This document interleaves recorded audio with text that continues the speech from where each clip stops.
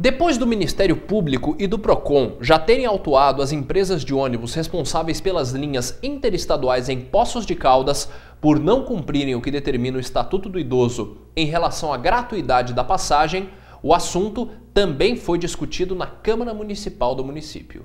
O assunto vem sendo debatido também pelo Conselho Municipal do Idoso, que já havia denunciado as empresas de ônibus junto às agências Nacional de Transporte Terrestre e Reguladora de Serviços Públicos.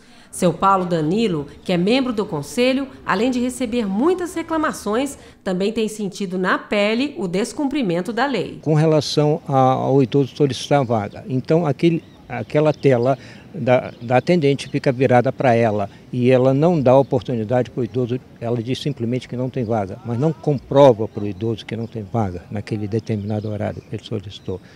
Nós, no Conselho, orientamos sempre que o idoso procure as empresas com uma antecedência razoável para não acontecer esse tipo de problema. Ele explica que muitos desconhecem a lei federal que estabelece que idosos com rendimento inferior a dois salários mínimos têm direito à gratuidade no transporte rodoviário interestadual de passageiros. É normal que o idoso às vezes não tenha essa informação, ou muitas vezes o idoso não procura por ter uma renda superior. E existe um outro aspecto que muitos idosos também não desconhecem, que em 2016 eh, o governador do estado promulgou uma lei, foi luta nossa, eu participei das duas últimas conferências estaduais lá em Belo Horizonte, no transporte intermunicipal. O que, seria o intermunicipal? Uma viagem que o idoso precisa fazer dentro do próprio estado, daqui a Varginha, Pouso Alegre, Alfenas ou qualquer cidade da nossa região. Aí a única diferença dessa lei é que a renda é exatamente a mesma e a única diferença é que ele tem que é, é uma vaga destinada ao idoso e uma vaga destinada ao deficiente físico. Além da reivindicação do seu Paulo, ele parabeniza o PROCON pela iniciativa do projeto Fiscal por um Dia, em que ele foi selecionado para participar. Ofereci esse tema da gratuidade como um tema de relevância para a comunidade. E um, esse meu projeto foi aprovado e eu estou só esperando que o PROCON me chame para me poder atuar como fiscal por um dia. Aí eu vou visitar, é, provavelmente nós vamos visitar essa empresa aí que já foi citada várias vezes e as outras também que fazem, prestam esse serviço à comunidade.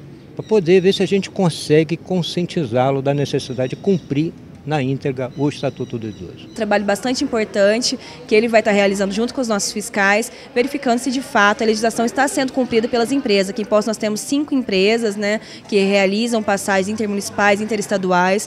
Então o seu Danilo né, vai estar junto com os nossos fiscais participando e verificando de fato como é o trabalho do PROCON é, em relação às denúncias que nós recebemos aqui diariamente em determinados é, segmentos. O PROCON de Poços de Caldas foi acionado 40 vezes no ano passado por pessoas que se sentiram prejudicadas tanto no trajeto em viagens para o Rio de Janeiro quanto para cidades do estado de São Paulo. São dezenas de denúncias, né? praticamente semanalmente nós temos algum idoso que procura o PROCON para saber seus direitos, até mesmo realizar denúncia sobre a não disponibilidade do bilhete do idoso. Foram é, realizadas diversas fiscalizações no decorrer do ano, cerca de a, é, três empresas foram autuadas no ano passado e são cerca de 15 é, autuações, né? então de várias fiscalizações realizadas, 15 autuações foram realizadas. As empresas tiveram prazo para apresentar defesa a, a autuação pode ser mantida, minorada